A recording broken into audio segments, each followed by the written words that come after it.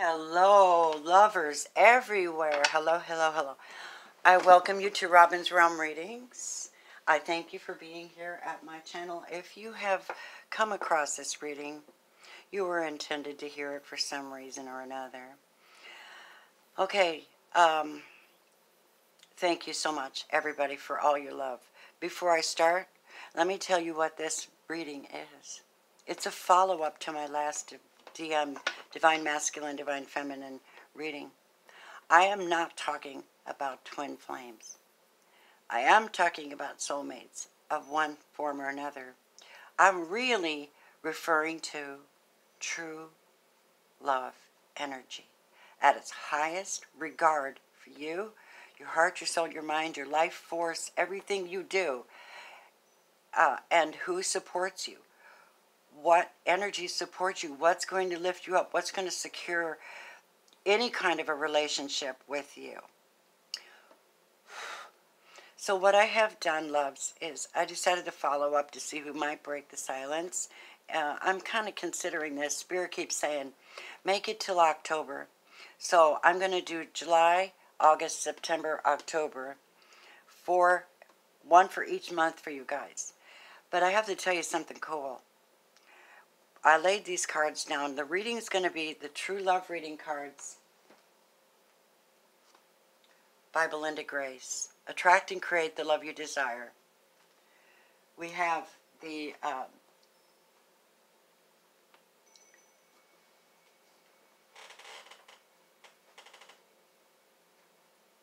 oh my god, my brain, Witch's Tarot. And then we have, of course, the Tarot of Sexual Magic to go into the more intimate part of the relationship. I have a third deck here for drawing upon clarity on these. I am also bringing a Journey of Love passage card and an Oracle of Visions.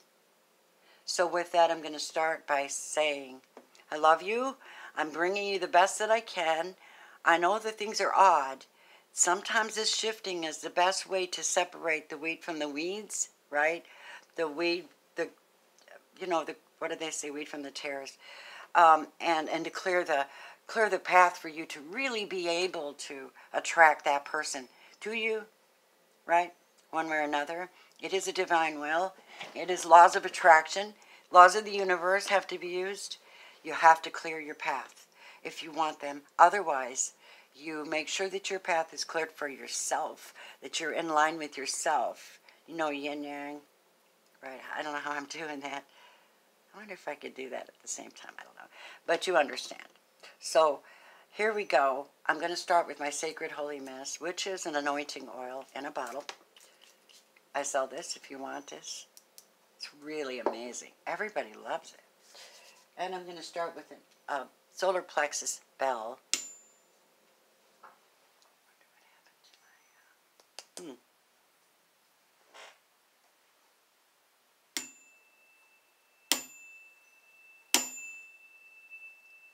Bring me into the presence of the white light. Bring me into the presence of real messages, truth, light, universal mind of love. Bring me into love energy. Thank you so much. Holy Spirit, thank you. Divine, loving, benevolent energies. Um, pray that you sedate and calm down the darkness and the deceit and the mis- malfunctioning of relationships and bring people to their peace, bring people back to themselves, and remind them of their journey. It's really about being one with Source. Thank you for this time. Amen. All right, here we go. So I'm going to tell you something cool before I do this. What? So I, I was I'm like sitting here. What? I shuffled these guys, all of these. I'll shuffle them again. So before I picked these up, Spirit said, look at the bottom. How's that for an interesting start to a love scenario? I think it's great. However, it's also followed by, oop, I better get me a crystal. Hold, on a minute. Where's my fabulous crystal? All right, here we go. Two of Cups. Moral of the story. Two of Cups. Someone you used to see someone you want to see or someone who wants to see you, someone who can see you, whether they're in your presence or not. This is a divine connection. And it is the topic for discussion at this moment. Thank you, Spirit. We're going to take a look right now, and I'm going to quickly look at these. This is the main love energies between those of you who have established yourself not to take less than the best, who've established yourself uh, to be the best, who's established yourself not to play games anymore, to be a be a serious soul on the planet, hoping to attract or actually attracting or actually with the partner that will bring you into divine alignment in a relationship. No, they're not you, but they feel like a part of you. Bear with me while I put my cards up. Okay. So, there's a leaf on my table, and I swear it's driving me crazy. Here we go. My loves. The silver waterfall. Wow. So, you know, this is uh, letting things flow. Of course, you have a swan here. It's about love. You have the rainbow. You know, sometimes the romance angel cards will say, your uh, your actual partner is different from your usual expectation and type. There are two birds flying over the waterfall. It's very nourishing energy. It's healing. Look at all the plants and flowers.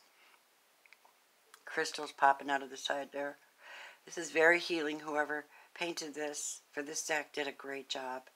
Um, but the energy is that of duality and oneness coming back to get coming together in a really super healing way. Um man that is absolutely beautiful. Let's see if there's a message for you here. The true uh, many people feel that they're always picking up on other people's negative energy and they want to know how to protect themselves from this unpleasantness. They perceive the negativity to be out there and believe that if they could shield themselves from it they would feel better. The truth is that we all carry negative and positive energies. And we all have times in our lives when we feel low. To feel truly lovable and abundant, you need to be able to engage with whomever and whatever comes to you without feeling like you need some form of defense. Not only does your aura or personal energy field experience the highs and lows of everything that's going on around you, so does your nervous system and all the cells of your body. You're like a finely tuned instrument that is constantly testing the atmosphere for anything unusual, unfamiliar, or threatening. It's all out there, but barricading yourself against the world is not the solution. The best way to stay balanced and healthy in a busy world is to raise your own vibration in as many ways as possible. This means eating nutritious food, looking after your body with rest and exercise, feeding your mind with uplifting material like beautiful music, books, and movies, and of course, regular contact with nature and cleansing yourself at the end of the day. Mm-hmm. This is done not to protect you from anything negative, but, as the angels prefer to describe it, to release anything that doesn't belong to you and anything you do not need anymore. This can also be done by following the process called the silver waterfall on the next page. It is most beneficial at the end of the day so you don't go to bed with more than you need to. What an interesting message for you guys. The silver waterfall. Sit or stand comfortably wherever you can have a private moment. Now imagine yourself standing there under a glorious waterfall of silver energy and light. Let your imagination flow too. Picture a wonderful scene in a rainforest with a silver waterfall pouring out of the sky. Feeling this shimmering energy flowing through and over you, washing away energy that you don't need anymore or that doesn't belong to you. Feel it or visualize it draining away from the floor and being absorbed by Mother Earth. Let the silver waterfall flow for as long as you need to, picturing as much or as little detail as you like of the energy flowing through your aura, through your hair and every cell in your body and let it drain away. Now feel the refreshed light and energy that is all through and around you, tingling and sparkling. This was a message. This was a message because a lot of people are in separation.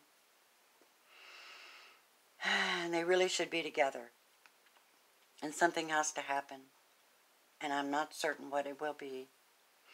Sometimes people have to put down their pride. Sometimes they have to pick up their dignity. Sometimes they have to come clean. Sometimes they have to speak their truth. Sometimes they have to learn to lighten up.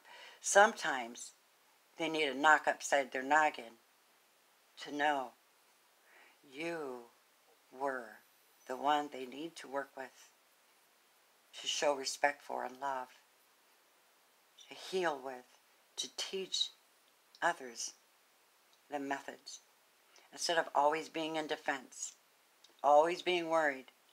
And if you find that you're in that energy with somebody, I can see why you would not want to be there.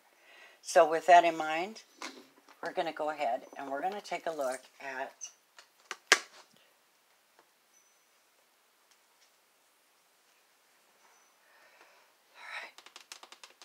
let's take let's take a general overview of what the mental problem is here in these relationships where they're not together yet. We're also going to look at outside influences as well to see why not, okay? So give me a moment. This is the Oracle of Visions. What is the predominant mindset with both divine masculine and divine feminine energies on the planet at this time? Those who are meant to work together. You know, it's relationships are work. And once you establish a really strong relationship, at least that's what I'm getting from my, my beautiful Barbara Cole Salmeron, empoweredrelationships.com, is that you have to understand each other and then you have to set good boundaries. You have to know you're going in the same direction for the same uh, intention. This way, the universe says, okay, I can get behind that. Bam. I will give them both uh, energy to see this through. They have to come completely clean with each other. They really have to come clean. This is not just lo- love and passion. This is seeing somebody and loving them anyway. Working with their humanity and the cause of divinity. What is the overall thought process? Oh my God. Oh my God. I'm going to pull one for July, August, September, and October.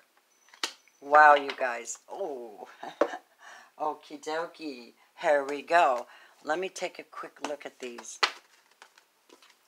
fast. I know the lighting is kind of weird. I'm at the window so I could get some more light and be closer to nature myself infinity, eternity, prosperity, righteousness, many faiths, many beliefs, destiny.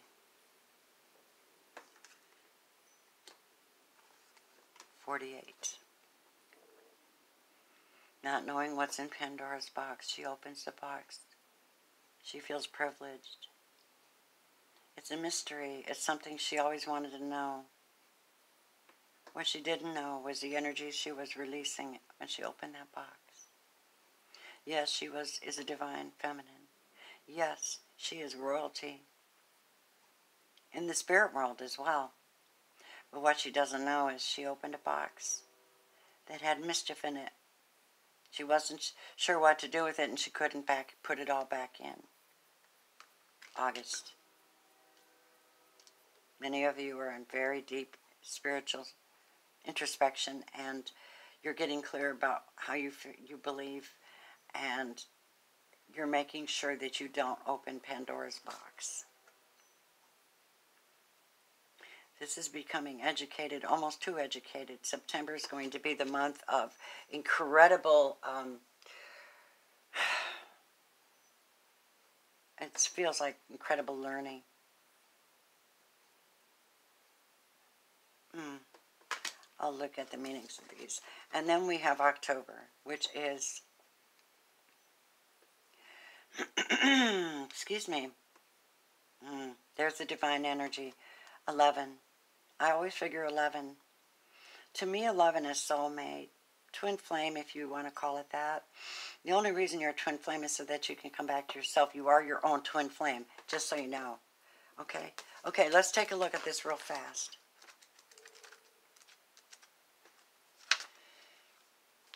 This is the, you're all in this state of um, creating right now. This is the magician energy. Striving to achieve an end goal through study, experimentation, dedication, and perseverance. Pause. Yes, yes, yes. We were talking about this when I was so interrupted. So here we have someone who's doing alchemy. They're transforming themselves. They're um, the facial markings on this guy. Let me see if the light's okay for you guys to see this. I don't know. Let me lay him down. The facial markings uh, for July show um, the beginning and end points of his quest from base lead to its various stages of purification of the soul to gold. The symbol for gold appears in the center of his forehead, where the third eye chakra is perceived to be. This card is a reminder to stay focused on the goal and to continually apply the required self discipline. It will be all worth it in the end. Wow.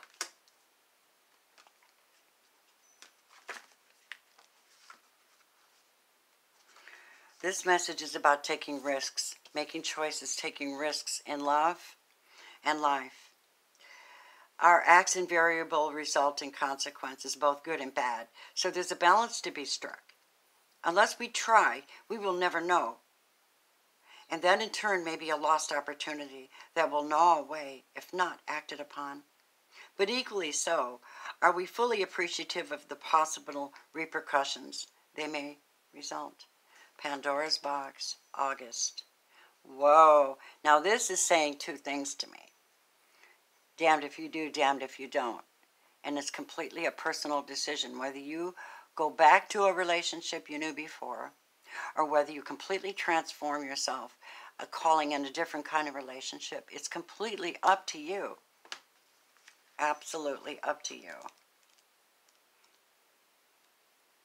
This is where I told you this is going to be where a lot of you are going to be really in a learning stage of some kind. Hmm.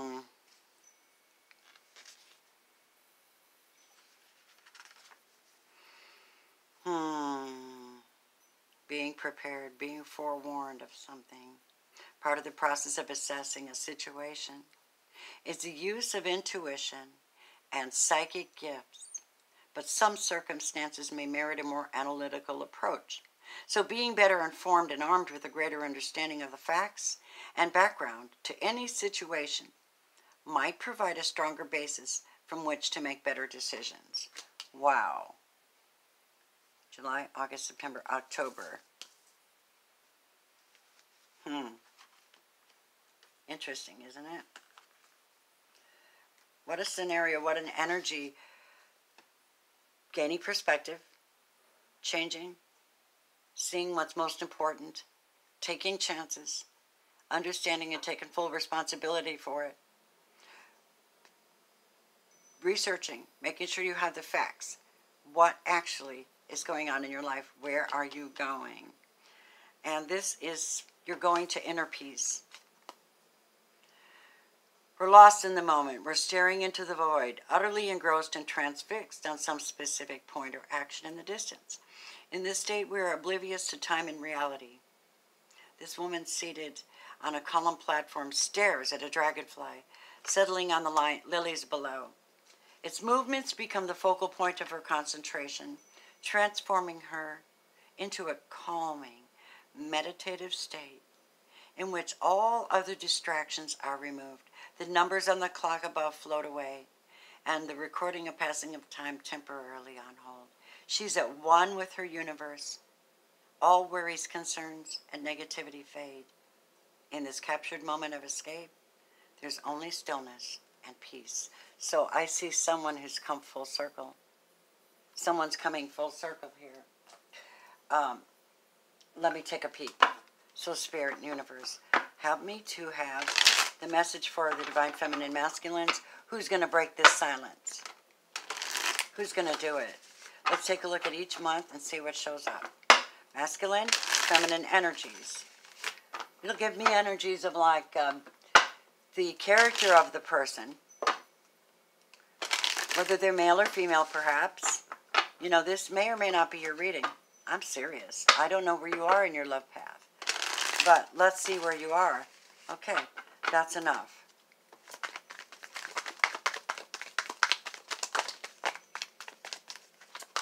Wow, they're just flying everywhere.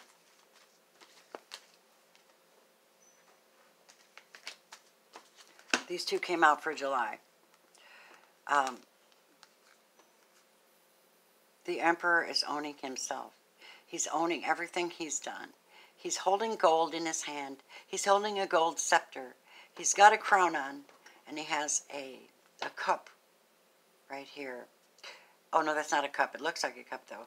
He's watching over what he's his, his offspring. He's watching over his babies, let's say. These could be children, or they could be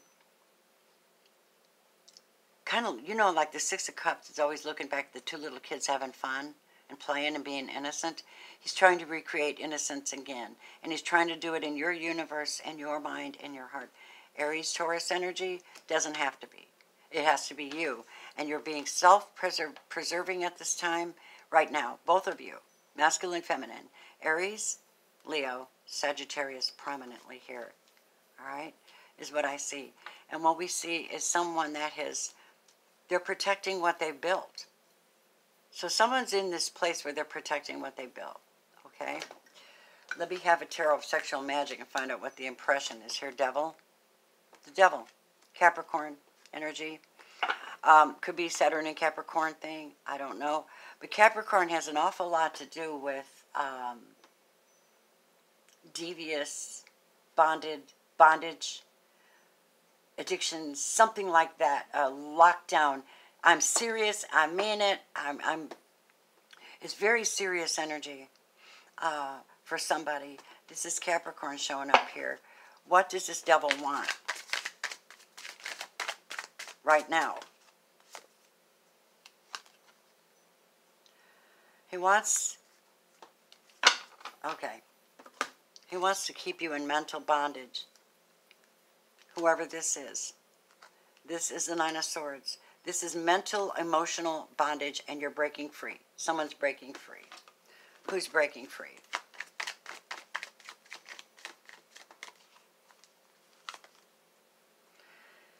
Well, someone's having a hard time releasing something. Eight of Pentacles came out in reverse.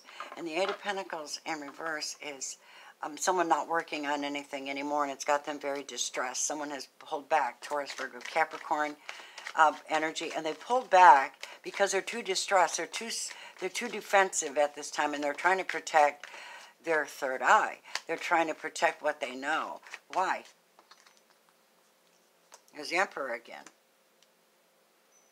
Maybe it has to do with being separated because of the, um, right now for some of you, it's COVID lockdown you just can't get to each other for some reason, or you don't want to. You just like, uh, okay, I'll just stay here and own myself. So I see Aries predominant, Aries and Capricorn, some Leo, uh, Gemini, Libra, Aquarius. Let's take a look at, um, and the bottom of the deck. This actually is coming off to me as someone who wanted something permanently. And this Knight of, Knight of Pentacles is slow moving energy. Finally going to get past some bondages, finally getting past some fears, looking back. He's looking over here at Pandora's box and he goes, I I don't I have the authority to do this, but I don't know if I want to go there right now with my heart. See the green background? The heart. I don't know if I want to commit to that anymore. I'm just kind of like pulled off. So let me take July. July is showing that people are in separation, they're in um, bondage to something, maybe to each other, maybe the thought of each other, maybe sexual bondage, Maybe it's causing a distress between the, the, the couple. Um, someone's different from you, and they can't seem to stay out of dominant trouble. Let's take a look at her.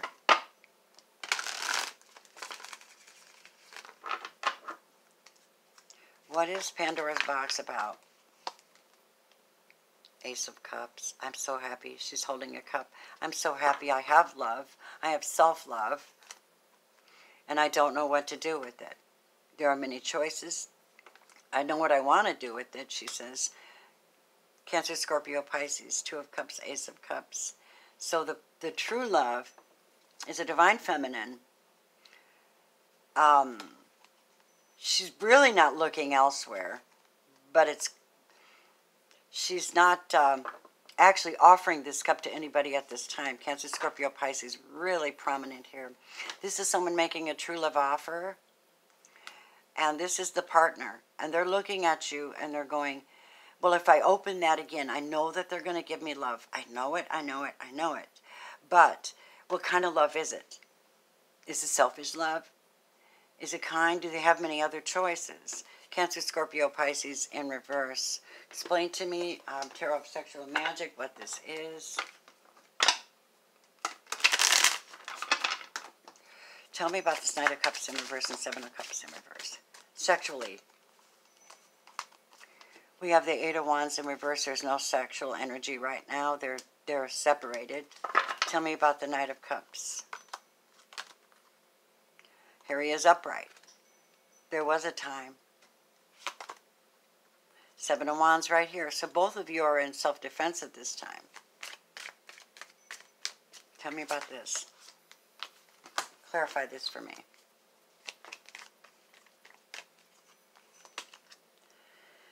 Ah, undecisive, doesn't know what to do with all this wonderful secrets she has. She's holding on to many things. That's Pisces and that's Aries right there. Wow. What's the outcome? Not making a choice for a while. Taurus, Virgo, Capricorn. Hmm. Let's take a look at this learning card. Interesting reading, you guys. I'm trying to find out who's going to break the silence. So let's see if September brings us silence a breaking of silence. Tell me who's going to break the silence, please. What is this about in September? Still not being committed yet. Still not coming forward. The High Priest is the commitment card. It's the tradition card. It is religion. It is faith. It is higher knowing. You have the High Priestess with this feminine energy, though. And you have the Devil with the masculine energy. Go figure. And the Emperor twice. Uh, I have this feeling that the masculine had a tendency to open up Pandora's box with the feminine, not knowing what he was going to get. She thought she had true love. She just she closed out all her options for a while and spent her time on this this emperor dim, dim, uh, earth person but she was very psychic person she's very psychic energy she had to put up her guard because she didn't trust him of uh, the there he made her feel like she didn't have a choice. Two of Wands and Two of Pentacles in reverse. Hmm. So the Hierophant's in reverse. So right now, I don't... Taurus energy, tell me about this. Clarify that. Not working on it. Somebody is so busy at this time, Taurus, Virgo, Capricorn, that they're going to be trying to figure everything out and not actually doing anything positive. It's got me a little pissed. Clarify these. But there will be victory in that the energies will shift in October for sure for somebody.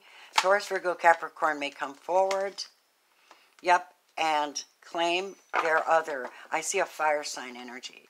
Taurus, Virgo, Capricorn. I mean, um, Aries, Leo, Sagittarius will be successful um, on starting something new. The Fool card.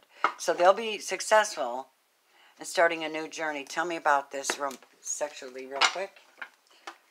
What is the energy here? And who is the energy here that they'll be starting with? During this course of learning and, and, and finding out who's going to come forward and speak, tell me. So we have two. I'm sorry. Three of Swords. They're going to tell you that they've been in pain. And they're going to tell you that they've made a decision And what is that decision, please? Masculine energy is going to come forward. They want to start with you again. Tell me about it. You are their soulmate. They're someone from your past. And they want to talk to you at least. They want to start up something new with you. But you're all up in your head and they're up in their head. Gemini, Libra, Aquarius. What is going to happen with this? Give me one of each.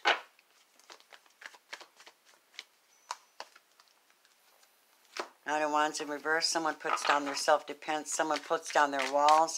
Someone understands something. Knight of Pentacles comes forward. Taurus, Virgo, Capricorn. Solid, grounded offer. I, I might have taken a long time, my love, but I wanted to have peace of mind before I came to you. I wanted to have peace of mind before I came to you and made any kind of an offer, whether it be a truce or a love offer. Three of Cups, but there will be rejoicing because someone has changed and there will be working on the relationship. Taurus, Virgo, Capricorn. Oh my God. Yep. Seven of Cups in reverse. You are truly the one that I need. And I've been thinking about it a long time, Hermit card. So it looks to me like you have a strong Capricorn energy, strong water energy, and strong fire energy for the most part. This is between the devil, the emperor, the hermit, and the high priestess. That's what you have. That's what this reading is about. I want to say thank you for being here.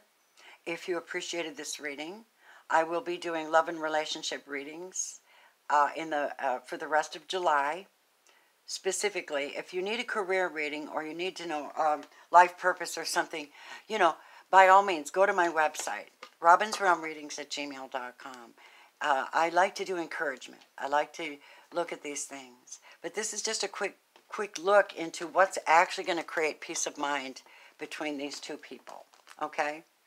Nine of Wands putting down self-defense because you don't have anything to worry about. The Knight of Pentacles is coming with a, a, solid offer, wants to spend time with you and rejoice with you and build with you again.